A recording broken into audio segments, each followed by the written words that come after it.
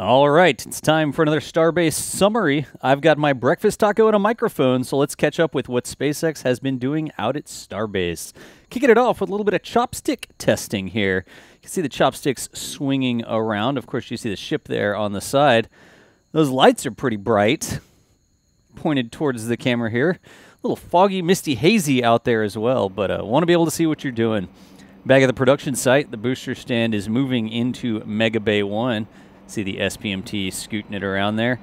And that looks like a Booster 16 LOX tank section. The little stack of rings in the background there, scooting around the uh, grand thoroughfare between all of the high bays there. And a water tank. The little one's the water tank. The big one's the rocket tank. Let's see what we have over in... That's going to be a Mega Bay. Booster 13 being lifted onto a stand there. And then jumping back to the launch site. Looks like it's more of those CC8800-1 parts leaving as they continue to disassemble and transport. Look how... Do you see the tiny toy truck, right, that they just put that big segment on? it's like, how big is that yellow segment really? And then you see the tiny little truck. Uh, actually, a huge truck. Watch the flaps on this one. Load spreader's in the way on that one shot, but you can see this flaps going through some flap testing. Hadn't been stacked up yet. Booster 13 scooting around a little bit here. Coming outside of the Mega Bay. See how they have the uh, flaps, actually the grid fins, sorry, not the flaps, at a little bit of an angle there to give them a little bit more clearance coming out. But here, that gets us all the way to the rollout of Booster 13. Why are they rolling it out? Well, because as of right now, the launch Flight 6 of Starship is no earlier than Tuesday. Slip today from the last information. If you might have known, they were targeting Monday, and it looked like the weather was just not lining up for a good day to launch. And so they've officially moved that as of last evening to target Tuesday. Let's get the uh, light truck here, giving us some fantastic lighting. One of our remote automated cameras here the SBL Ops giving us a little bit of a trek. Got the spotters walking around as always. Teeny bit of an enhance. All of the uh, underglow on the wheels in the transport stand for the booster.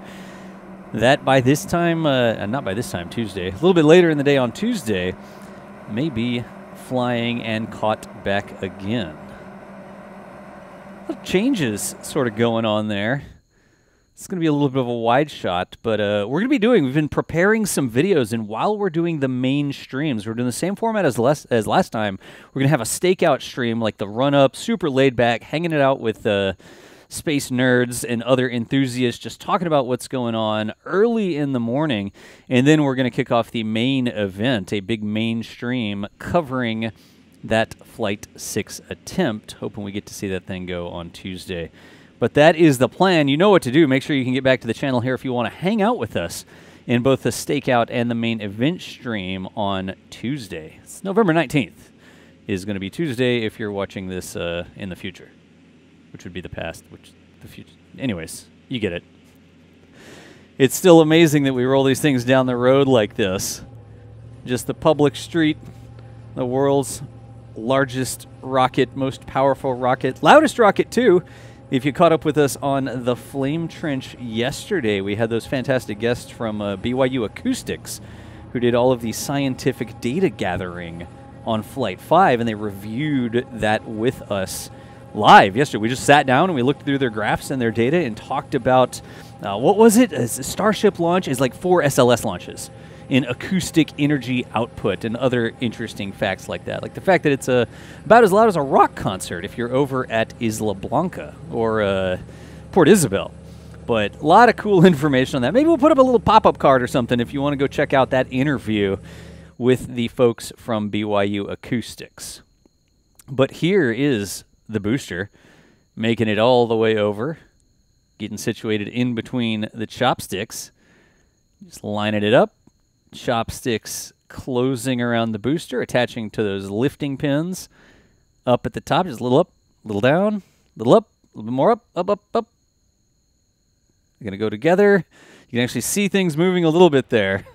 But here we get into the lift time lapses. That's Tower 2 on the left-hand side. Tower 1 was on the right-hand side there. Chopsticks got a firm grasp on the booster, picking it up. We're going to see it clear not only the OLM, but the scaffolding. Notice that that scaffolding, as of this shot, is still there on top of the OLM. And we'll pivot. We'll swing that booster over and then put it down into the OLM. Wow, that's definitely sped up. That was not real time. But there you have it. You see the chopsticks release the booster. This is going to be a shot from our river site and go back down. They still have work to do. Ship needs to be stacked on top of it next. Watch the booster. oh, wow, the booster quick disconnect there. The little face hugger thing around the side. It was a little difficult to see. You may have to, to uh, scroll back a little bit to see that one. Chopstick landing rails are the parts on top of the chopsticks. Ship 31 being rolled over with the SPMTs in between the chopsticks to get all situated. Here's Jack. Oh, it's the moon. Look, you got the Boca Chica Air Force flying through, and then the moon in the background. This looks like a shot of opportunity. That looks like it's handheld, right? So we had a little bit of a character to the shot. And there's the X, the SpaceX logo being lit up. I guess they were testing it, like flip it on, flip it off. Look, SpaceX. We installed the SpaceX logo so that you could turn the SpaceX logo on and off not so that you could show SpaceX logo raves. Nobody's going to understand that reference. If you got that reference, please help me out down in the comments. See some uh, UFOs flying around, checking out the ship being lifted. It's only a UFO if you can't identify it. It's a drone. Once you identify it, it's no longer an unidentified object. It's a IFO, identified flying object. It's just a drone. Wow! Okay, that's rough, but that is some rough lighting conditions on that one. it's a drone spotlight moving around. See the alignment. The amount of precision that the chopsticks can move that massive ship with is absolutely crazy. There's the drone. See it inspecting all the clearances and stuff like that. Aha. We've moved it back a little bit, and here we've got Jack with a real camera. This isn't one of the 24-7 cameras that's been exposed to the beach, salt, air, sand environment forever and uh, has that really tough sensor. This is Jack's nice camera catching the lift of the ship. Ah, yes, and nose cones in the Star Factory.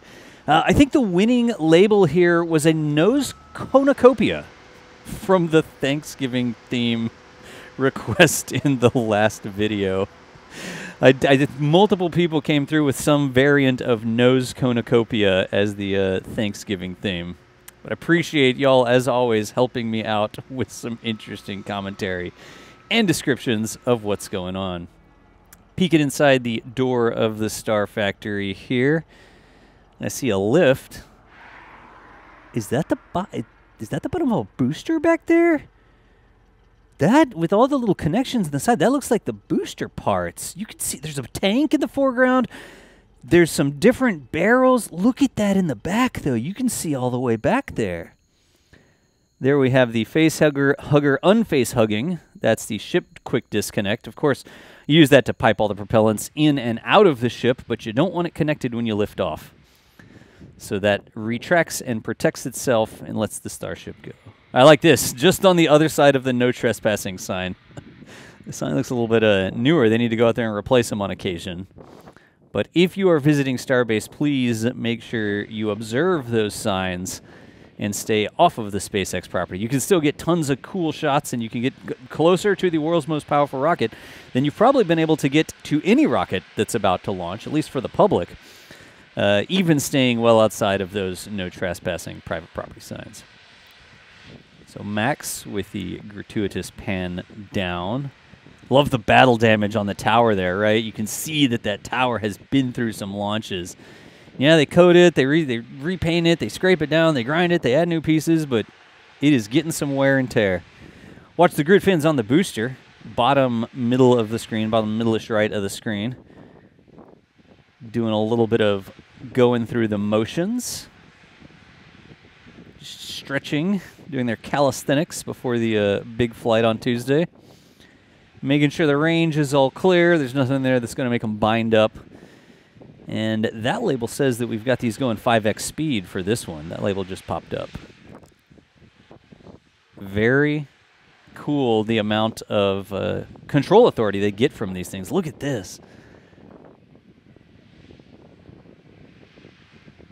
Oh, the geometric pattern of the way that the grid fin points and holes all come together as the light hits them differently. That's really cool. Tile's looking good on the ship, too. It's just a really nice shot here. Max, thank you for rolling out and catching this one. Looking up on the top of the ship now. Got the chopsticks. There's the aft flaps. Got some camera bumps in there. Some detail on the ship disc quick ship disconnect, quick disconnect. And of course, you can't get through a video without saying that the OLM work continues. This takes you all the way back to the assembly yard, back past the production site. We think all the major segments of this have been delivered now. And so now they're into the uh, this, what is this? I asked if we had like IKEA instructions, and somebody in the comments said, "Of course we do. They're called blueprints." Well, I show me on the blueprints where it says tab A into slot B, and then like this is screw three, and screw three is actually 18 millimeters long. Which, which, how long is this screw? I don't know. They seem to know what they're doing though. Ah, shot of the moon, but I think yeah. I think we were just watching the moon with one of the the 24/7 cameras and we just happened to catch that plane transiting the moon there. And then this is coming in hot off the press or hot off the SD card from Jack. Jack was out super late last night and caught this way better quality footage of work happening on the FTS. See a bunch of wires in there. That lift was up there for multiple hours, Jack said. I talked to him about it this morning. He said they were up there working for multiple hours, and since they were up there working for hours and hours, Jack was out there for hours and hours to the wee hours of the morning watching what was going on. Couldn't quite get the angle because if you got over more to the right so you could sort of see into that, then the lift would block it some. So uh, the angle we got here sort of side on, just showing how much that lift moves around. Is that like a static drain line or something? Little red coily thing. I wonder if that's to like ground the lift to the vehicle so you don't get static jumps between the people working on the lift and the uh, vehicle itself. In any event, folks, we are rapidly approaching Flight 6. Again, coming up on Tuesday. Make sure you follow and turn on the bell or notifications or whatever if you want to hang out with us for that. My name is John Galloway. Thanks for everybody who recorded the footage out there, and we will see you nerds later.